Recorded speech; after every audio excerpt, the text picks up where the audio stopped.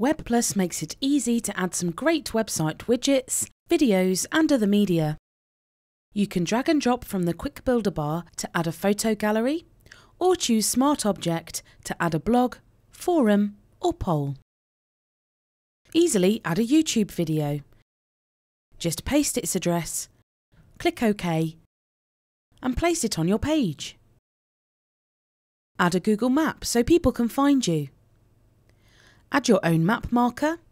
Even set it to show a street view of your location. And there's still much more for you to explore.